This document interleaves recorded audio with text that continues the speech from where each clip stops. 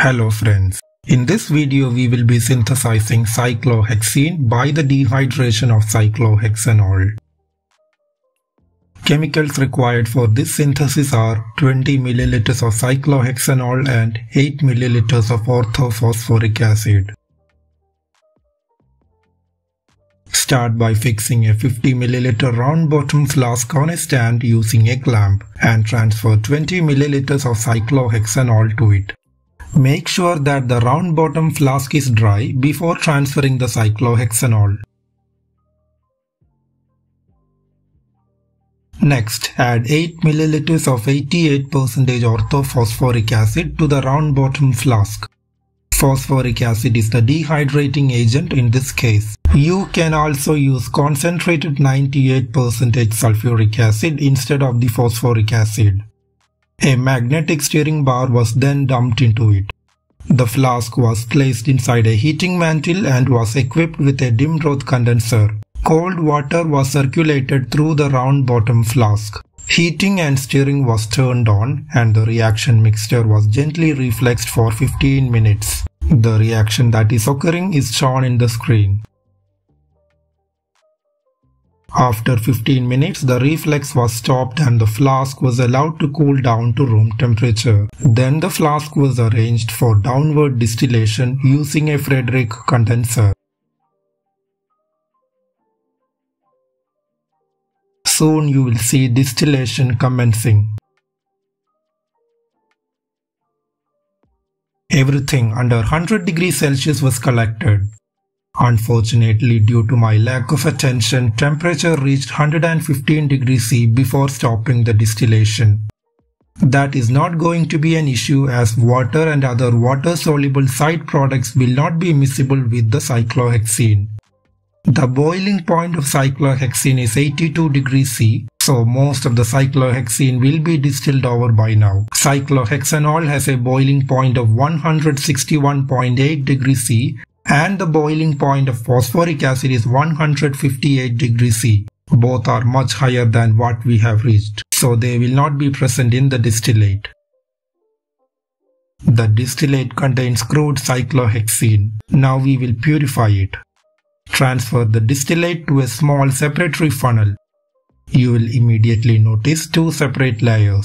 The upper layer is our desired product cyclohexene, so the lower layer is discarded. Now the product is washed with some distilled water to remove any water-soluble impurities if present. The separatory funnel was capped, shaked and vented to thoroughly rinse the product. Then the lower aqueous layer was discarded.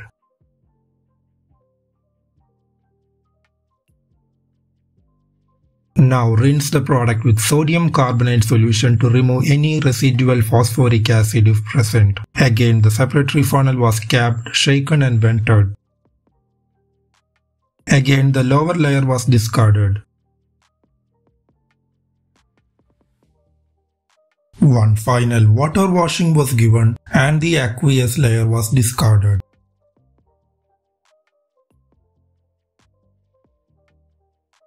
At last the product was drained into a small round bottom flask. The solution appears cloudy due to the presence of water, so anhydrous sodium sulfate was added to dry the product. After few seconds we notice clear solution and free-flowing solid in the bottom of the flask. This indicates drying is complete. Now using a funnel and a filter paper, the product was drained into a small glass vial for storage. The final product I received was 5 grams. Now we will do a simple test to confirm the presence of unsaturation. To the test tube on the extreme right we have dichloromethane with bromine dissolved in it. To the extreme left we have an alkane that is hexane and in the center test tube we have cyclohexene. On adding the bromine solution to hexane, nothing happens. But when it is added to cyclohexene, the yellow-orange color is discharged confirming unsaturation. Now moving on to the calculation part. Phosphoric acid is the limiting reactant in this synthesis. 97.994 grams of phosphoric acid should give 82.14 grams of cyclohexene. So after calculating the density based on 88% phosphoric acid, we have taken 7.04 grams of phosphoric acid and that should yield 5.86 grams of cyclohexene. The practical yield is 4.8 grams, so the percentage yield is 4.8 divided by 5.86 into 100 and that is 81.9 percentage. That's all in this video. Hope you have enjoyed the video.